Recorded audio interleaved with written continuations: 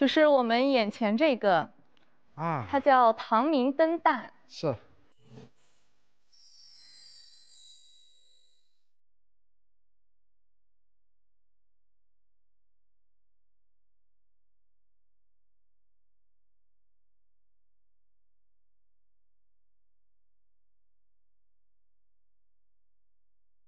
什么年代的这个？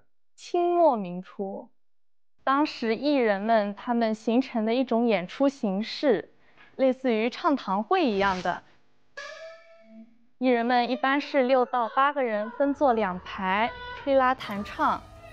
它这个是个装配式的，就挑着担子上走的。看上去这么大，其实我们把它拆卸了以后，就是两边这两个箱子里一装，就可以带走了。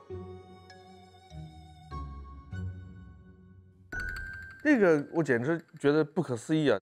榫卯结构把它拆成一块一块板上装箱，一个车牛车马车就拖走。